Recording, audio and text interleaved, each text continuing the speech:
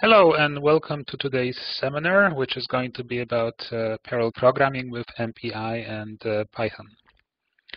So what is parallel computing? Uh, parallel computing is uh, necessary if you have a problem which is so large that it will not link, uh, it will not uh, work uh, on a single computer. You will not be able to compute it on a single computer. This is especially important because single computers have stagnated in performance. They haven't really, a, a single core of a serial computer hasn't really improved that much in performance. So uh, parallelism is more and more necessary. And unfortunately, parallelization cannot just be handled for you by the compiler. You have to write your own parallel code. Compilers are not smart enough to write parallel code. And various approaches to parallelization have been uh, tried since the 1990s. The most popular method is message passing, and this is what we are going to be talking about today. So in this method, you have uh, a parallel computer consisting of multiple serial computers. These computers do not share memory. They have distinct memory spaces. And so they have to communicate via a network. And every time data has to be exchanged between com these computers, you pass a message. This is in contrast to shared memory, shared memory processors, where you have multiple cores and uh, threads running on these cores can just access uh, the same region of memory, so you don't have to explicitly move data. But message passing can still be used on a shared memory computer. So what is MPI? MPI stands for Message Passing Interface.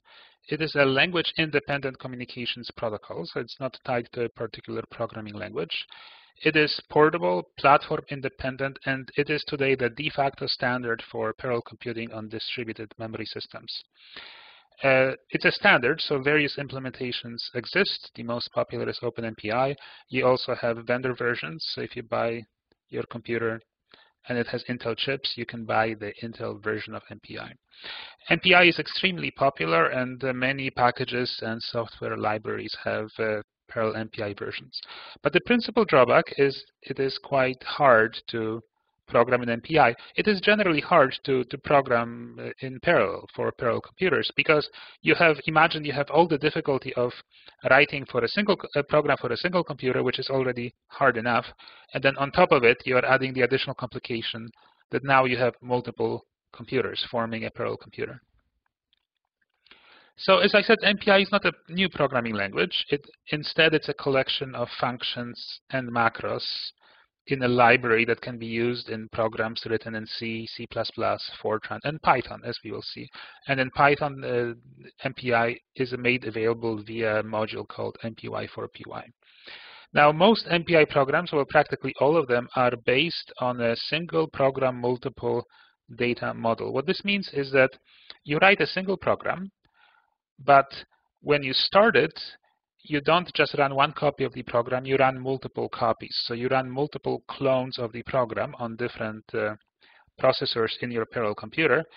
But each clone can use the input data to decide what to do. So each clone will get slightly different input data, and on this basis, it can do slightly different things. And then as your program is running, these clones, these instances can communicate with each other.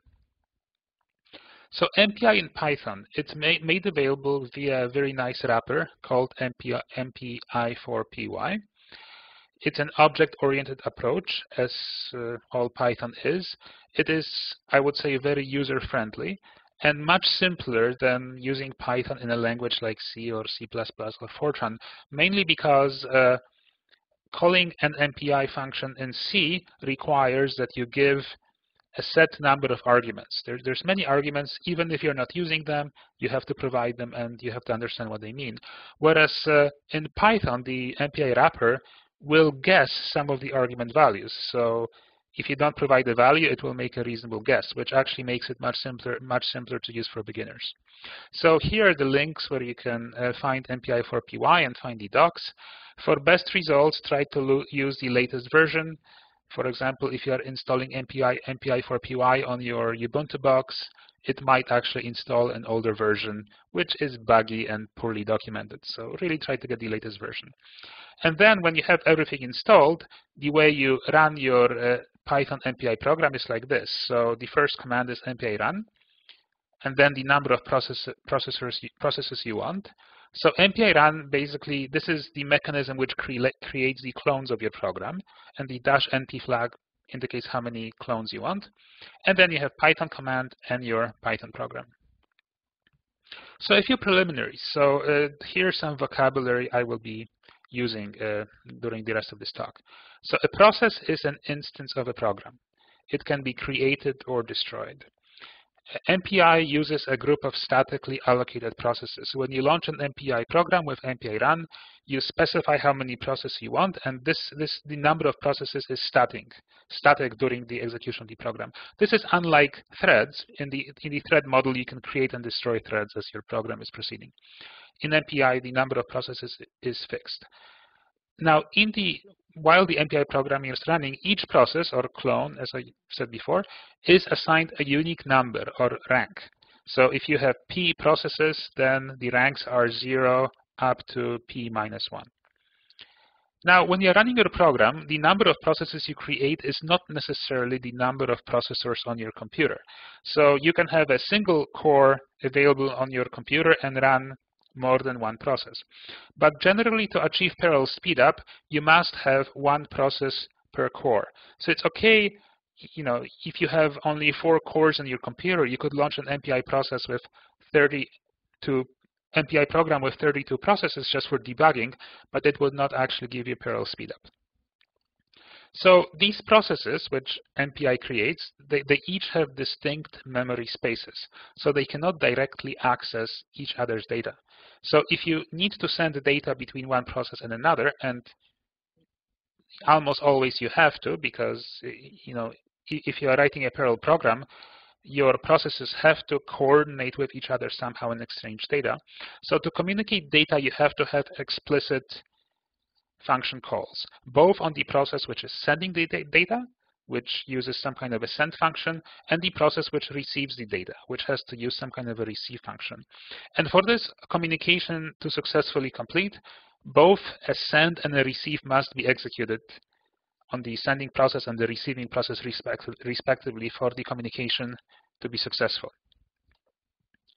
So what does an MPI program in Python look like? Well, let me just give you the general skeleton. So first you import the MPI for PY module, or you import from that module. Then you initialize MPI, and then you do your computations, where as you do your computations, you are using MPI communications to exchange data as needed. Now, once you are done, you shut down MPI. So let me talk about some of the tools that we are going to be using before I show you the first sample program. So first I have to create my MPI communicator object, which I will, and then I will be using the methods of this object for actual communications. So I import the MPI for PY module, or in this case, I import from the module the MPI, and uh, I create my communicator in the second line. So this communicator has various methods. Uh, so the send method is shown here. So if I want to send something, I call com.send, and this has three arguments. So the first is, uh, aside from self, the, the first argument is the actual object you're sending. So you provide your integer your, or your float or your array, whatever you want to send. The second argument is the destination argument. So here you specify the number of the process where you want this information to go. And the final argument, an optional argument, is the tag argument. So you can tag your message, which allows you to distinguish between them. We will not be using this argument uh, in, in our examples, but sometimes it's important. Uh, this is to make sure that the right messages get to the right destinations. So the way the send method works is that if the object you're sending is small enough, your program might actually continue past the send call even though your message hasn't actually arrived at the destination, which is actually good because that means your program doesn't always stop at that point until the until the message actually reaches the destination, but can continue. But that's only if the buffer spa space is big enough. So if the object you're sending is too large, the buffer space will not be sufficient, and then your program will stop at the send line until another process does a receive and transfers the information. So, uh, and here we have the, the second uh, related process. This is the receive process. So uh, the, the receive method rather. So uh, you call this on the process which is to receive the data. So the arguments are, uh, well, you have the buffer argument, and this, this will have the object which will store the data to be received. Then the source argument, this indicates the uh, which process are you receiving this data from. So if you don't provide this, it will actually use an any any source wildcard. So it will just accept a message no matter where it's which other process it's coming from. But that that is generally unsafe, I would say. So it's it's important to specify specifically which process you want to receive the message from. The tag is optional again, and in the receive call you have one additional argument called status, which allows you to query some data about the message. But the default value is none, and we will not be using this value. So uh, in this method, uh, the program always stops if you invoke the receive call your program will stop there until the message is actually received. So, so this is fully blocking. The message has to arrive before your program keeps going. Which means, for example, if you have a receive call which doesn't match some send call on some other process, your program will deadlock because it will just wait forever for the message to arrive. So in general, it's important when you write your program to make sure that for each send you have a matching receive. They always must be in pairs. So these ranks, what are they? Uh, well, to, to, so to send a message, I need to know what is my own rank and how many processes there are in total. So there's a get rank method. So if you call this on any particular process, it returns the, the number of, of this process. And the get size method returns how many processes there are in our communicator. So this number comes from MPI run. You remember we, when we started the program, we did MPI run dash NP and then 4 or something. If we have 4, then get size will return 4. Okay, so uh, with these preliminaries out of the way, let's actually look at uh, our first uh, basic MPI program. And all this MPI program will do is it will have each parallel process, which is not, which doesn't have rank zero, send a message to process which has rank zero, and then the process which has rank zero will print that message out. So let's uh, walk through this. So first, we import from MPI for PY module. We start our communicator. So you have to keep in mind that this program, multiple copies of this program are running on different processes. So you have to imagine that this program, there's many clones of it running at the same time. But when we get to this line, each of these clones calls getRank. And then my rank will store the ID number, the, the rank of each process. And this will be different on each process. So there will be a process where rank is 0, there will be a process where rank is 1, and so on up to p minus 1, where p is the total number of processes you started. And indeed, we can obtain that value here. So uh, calling get size, we find out what p is, and p is the total number of processes. So here where here is where divergence is occurring. So different ranks will do different things. So I want to what I want to happen here is all the ranks which don't have rank 0, so rank 1, rank 2, they will create a message and they will send this message to process 0. So the message is a string containing the, the rank, and then com.send sends this message to process 0, destination 0. And then the else here, the else is, uh, that's the code which runs when rank is 0. So on process 0, there's a loop because process 0 wants to receive this message from every other process. So there's a loop uh, for proc ID in range 1 to p minus 1. And uh, we call com.receive. So this receives the message, and we specify the source, and the source is the uh, loop uh, variable. So the source will be 1 and 2 and 3 and so on. And we print out the, the message which we get. So the output looks like this. So I do mpi run dash np4, meaning I invoked MPI. I create four processes. I run the program, and I receive a message. So, so here process 0 is printing, and process 0 receives a message from process 1, process 2, process 3, and it prints it out. So here's our basic MPI program, which uh, shows us uh, what MPI does. But uh, that program is not very interesting, so let's actually try to compute something, because this is what we will generally use MPI parallel programming for. So let's compute an integral. And there's many situations where an integral has to computed has to be computed numerically. Quite often, you don't have uh, you know a closed form answer uh, answer for the integral.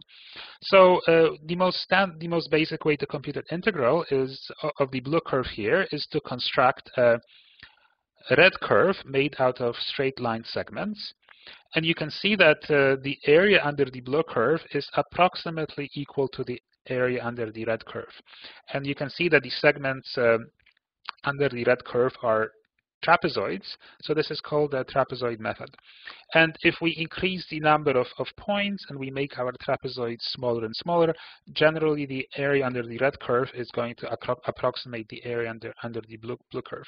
And of course, what's nice about the area under the red curve is that that area has a very nice uh, uh, closed form expression. It's just a bunch of areas of trapezoids. So uh, here, this is written out. We have our integral of some function from a to b can be approximated by this formula, which is just the, the area of the trapezoids as I have drawn them. So the way we can uh, compute this in parallel is we can take our segment from A to B and we can divide it into smaller segments let's say, so then process 0 will compute the integral from a to a plus n over ph. Process 1 will do the next segment, so that each segment is uh, working on a smaller area with a smaller number of segments. So each process then does a part of the integral, and then we want to collect the results and add them up, and that will give us uh, uh, the full value of the integral. Okay, so let's pick a simple function to integrate. Uh, we could have chosen anything. I take x squared because the nice thing about it is I know the, the actual analytic answer for it, so it will be easy to compare our numerical result to the full result. So uh, then I write a function to do a serial computation of the uh, using the trapezoid method. So if I was using a, a single computer and I was um, computing the integral from a to b using n trapezoids and the length of each trapezoid would be h, I would be using this formula. So this is just the implementation of uh, the summation expression which I have shown you before. And then here is the, the actual uh, parallel program. So here I want to compute the integral from a to b of a function of f of x. So I'm going to divide my segment from A to B into the number of pieces equal to the number of processes I have, and then each process will do a part of the int integral. So uh, I have uh, various uh, variables, A, B. A is the beginning of the integration. Here I take it to be 0. B is the end. I take it to, take it to be 1. I have 1,024 points. Here, for simplicity, I'm assuming that the number of points, the number of trapezoids, is exactly divisible by the number of processes. It just simplifies the code. So, uh, so here's what my program looks like. I do the preliminary, so I import uh, MPI uh, from MPI for PY. I initialize my communicator, and I find out the, the rank and the size for each process. And here I am, in this code, I'm just going to hardwire the, the values. So I'll set A, B, and N to whatever uh, I want uh, them to be and uh, I set destination to be zero because so destination is the variable where we this is the process which will, will, will be receiving the data at the end to add it up, and this will be process zero.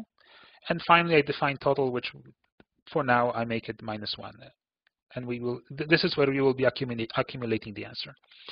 So now in this part of the code, I have each process compute its own portion of the integral the partial integral. So here, each process has to figure out its local integration limit. So local A and local B, this is, this is the integration range that each process has to do. And uh, each process uses my rank to determine which part of the integral is responsible for. So for example, if I am process 0, then this will be 0. So that means that my integration limit on the left is a, and my integration limit on the right is whatever it was the left limit plus local n times h. So local n is the total number of points in the integration divided by p, where p is the number of processors.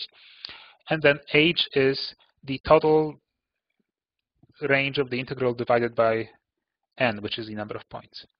And here I call the trapezoid method. So this computes the partial answer. So the integral here is the partial integral. So this is the part of the answer which each process has at this point.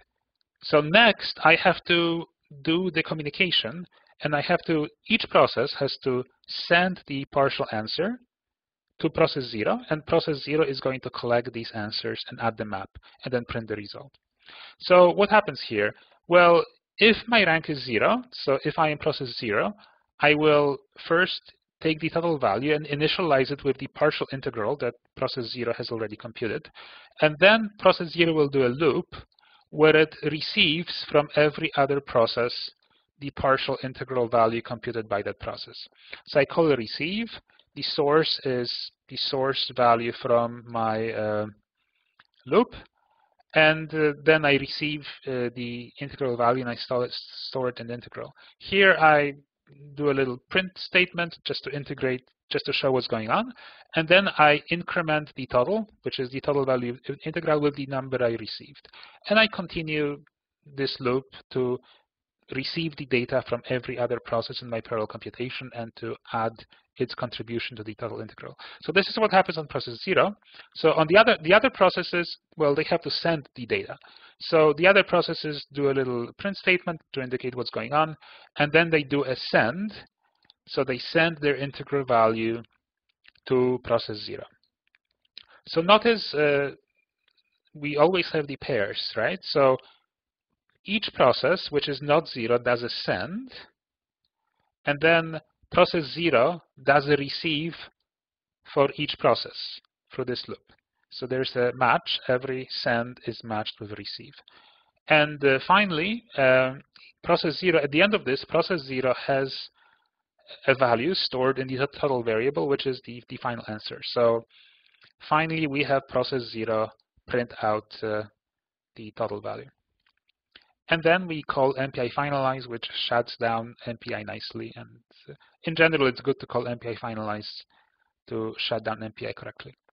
So this is the output of this program. This is what it looks like. So um, here I am uh, calling MPI run with uh, dash np. Here I have four processes. And then Python invoke the interpreter and the uh, Python function. And here you can see that uh, process 3 has computed a part uh, of the integral process 2 has computed a part of the integral, process 1 has computed a part of the integral, and each one of these processes is sending this information to process 0. And then process 0 is in turn receiving this information. And uh, it's accumulating the integral. So uh, so, so we can see that there's a match, right? So process one is sending sending this value to process zero, and then process zero is receiving this value from process one. Process two is sending this value to process zero, and process zero is receiving this value, and then process three is sending this value, and process zero is receiving this value. So finally, we print out our answer, and here it is, and the actual analytic answer is one third. So, you know, we are pretty close. And if we increase the, the number of trapezoids, we would uh, our answer would be closer and closer to the to the actual value. So the summary at this point is here are all the MPI calls I have used to write my parallel program. So I had to import my MPI module. I had to initialize my communicator, initialize MPI. And then I had to use the following methods of the communicator object. Get rank, get size, send and receive. And finally, I had finalized, just call, I called this once at the end to shut down MPI. So with just these few MPI methods, you can write a, a viable, simple MPI parallel program.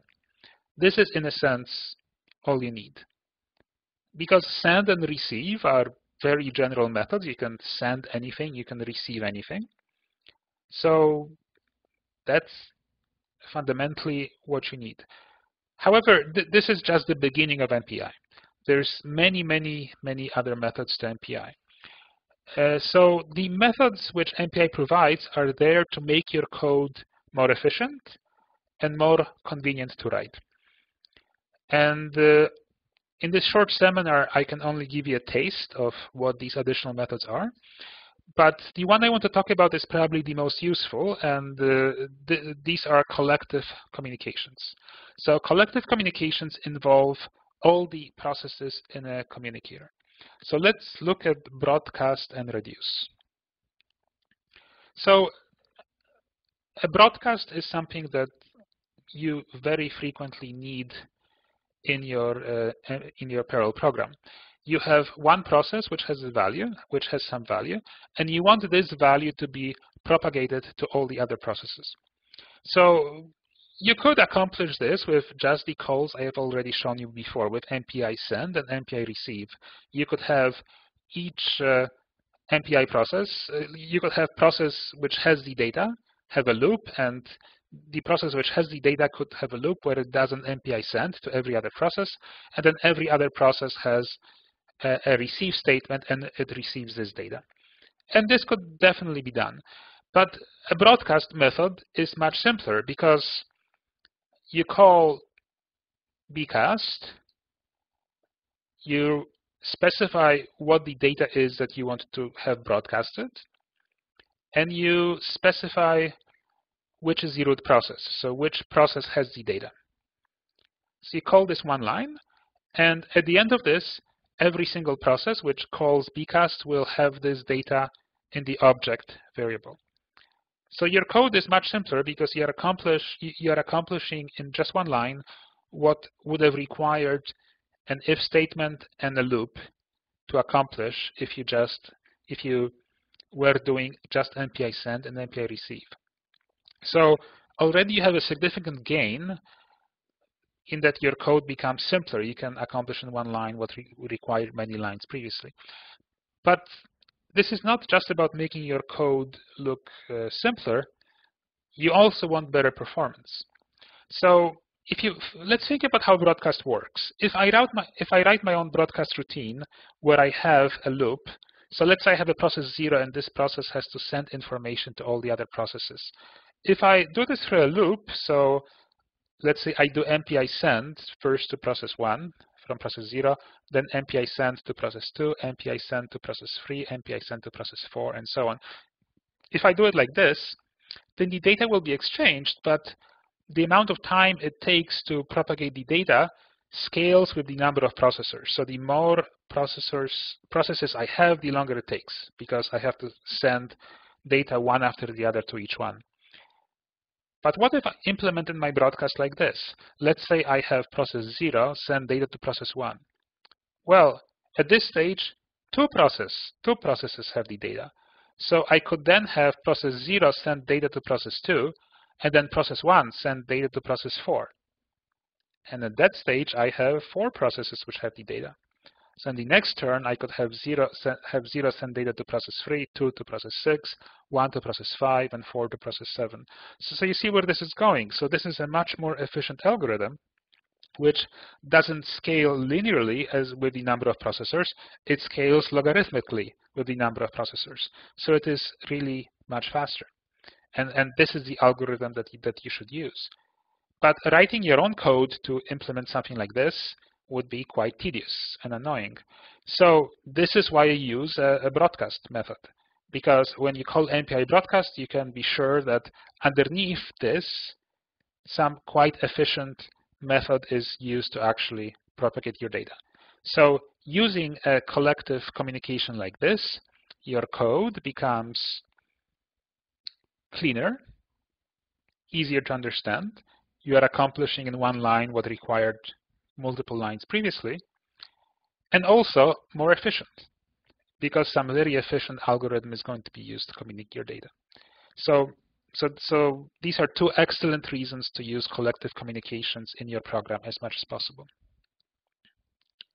So uh, let's uh, try to use this to improve our integral uh, integration code a little bit.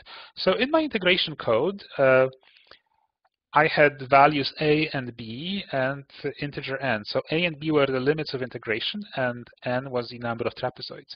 But let's say I want to make my code somewhat more flexible, and I want to be able to read input at runtime.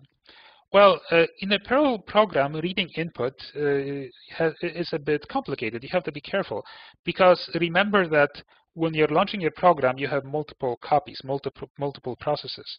So if you have all of them trying to read input, that that will not work because then multiple processes will be listening to input, and you will not know which process is actually reading input from your command line. It's it's uh, very messy.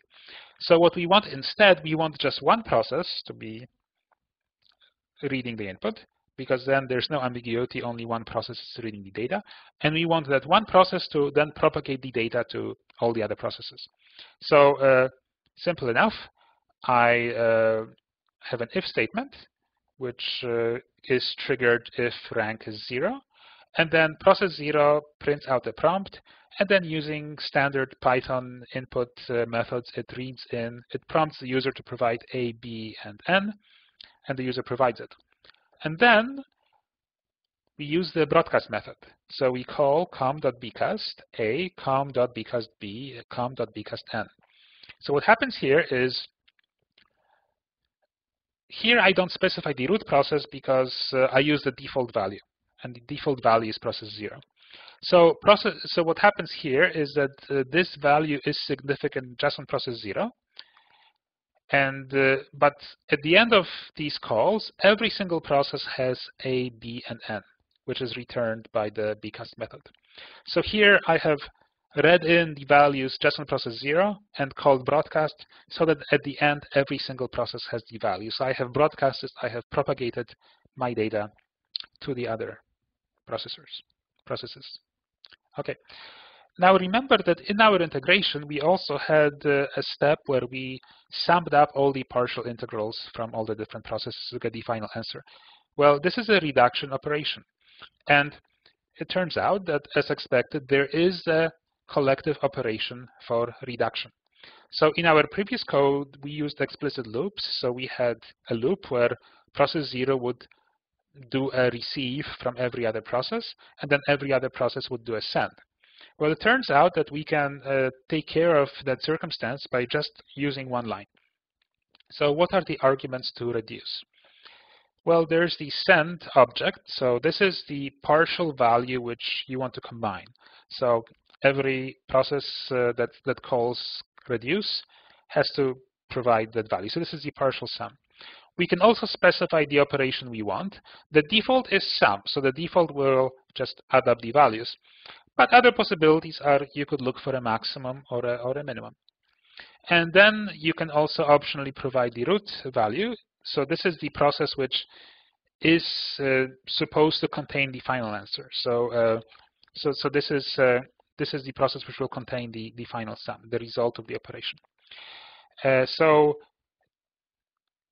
and then when you call this function, it will return the result of the operation. But the return actually is valid only on the root process. So the other processes will not have that number. So that number will not be defined. So you should only use this number on process zero. There is actually a variant of a reduce operation called all reduce. So if you want the result of the summation to be available on all the processes, you call all reduce. But otherwise, you just you're careful to only use the result on, on the root process. So uh, let's now look at uh, our integral trapezoid method code again using these ideas. So uh, here I have the preliminaries. I call my get data function. So notice that in my get data as the argument I provide rank, the number of processes, and the communicator. So I have to pass the communicator because I will be using communicator methods inside that function. So I call this, and at the end of this, every single process has values of a, b, and n, which have been read in from input. So uh, then these next uh, few lines are unchanged. Each process computes its uh, partial integral value. And then look at this. To sum up all these values, only one line is necessary. I call com.reduce. I provide integral as the argument, and this returns total, which is the total answer, the, the all, all the partial uh, integrals added together. And then if I am process zero, I print out the result. So this actually is essential. If I try to print out the total result on any other process except process zero, it will be undefined. Because keep in mind that the way reduce works is it collects the data, but it actually brings it all together only on the root process, in this case, process zero. So the main conclusion here is we have vastly simplified our code. We don't have annoying loops over MPI receive or MPI send. We can do these co collective communications in one line. Okay, so uh, we are nearing the end of this seminar, so I want to emphasize that we have really barely scratched the surface of uh, MPI. I have shown you the basic MPI calls, MPI send and MPI receive, which allow you to write a basic but functional MPI program. And I have shown you the first extension, to these, uh, collective communications, which allow you to do certain very common communications in a very efficient way, just using uh, you know a single line. So let me just give you a quick overview of what are the other features of MPI that you might want to explore. So first, non-blocking communications. So communications are the Achilles heel, if you will, of MPI. Communications are generally much slower than, than computations. It takes time to send data from one computer over the, to another over a network. So because it takes such a long time, it is often quite useful to be able to overlap communications and computations. And, and non-blocking communications allow you to do exactly this. With a non-blocking communication, you can start a non-blocking send and start sending the data, and then work with some other data while the data that you want communicated is sort of in transit. And then where you get to the point where you know you, you need to finish this uh, communication, you can have a wait call where you wait until the communication has actually completed. So in this way, it is possible to overlap communication and computation, which takes away some of the pain of communications being so slow. Uh, also, you can make your own communicators. So, so far we have uh, only had one communicator which had all the processes. But you can create new communicators which involve subsets of processes. The reason this is good is uh, you can then have collective communications only over subsets of processes. So the collective communications we have seen so far, they have to be called in all the processes of a communicator. So if you have a communicator, the default one, which holds all the processes, then your collective communication has to be called on every single process. And that's fine for some things, but for other things, you want more flexibility. So you can make your own communicators. And you can also make your own topologies. Uh, in particular, if, you are, if your processes are arranged, if you want to think of your processes as being arranged on a two-dimensional or a three-dimensional grid, which is often quite useful if you are computing an object which is intrinsically two-dimensional like a matrix. So there are special methods in MPI to create communicators well suited to, to that kind of topology. Then we have user-defined data types. So if you want to send some complicated data, you know, mixing integers and floats and so on, you can make your own data types and send them. We have parallel input and output operations. So I haven't talked here about writing to files. So as you can imagine, writing to files in MPI can be a bit uh, inconvenient because if you have multiple processes trying to write to the same file, it's quite like, likely that the, the writes will get mixed up and you will not get the data in the order that you want. So one possible way around it is you can have process zero do all the reading and writing to files. So just like uh, I had in my example, I had process zero read the data from input, we could have just process zero reading and writing all the data and then doing communication to the other processes. But the problem there is that you lo lose parallelism because if only one of your processes is doing all the communicate, all the writing and, and reading, then that might become a bottleneck. So there are various techniques in MPI to actually write in parallel and read data in parallel, which are quite useful. Uh, one could spend a long time talking about parallel algorithm, algorithms in general. So it turns out that if you're trying to solve a, pro a problem in a parallel way, you might need a different algorithm than you use to solve this problem in a serial way. So this is a very active area, area of research.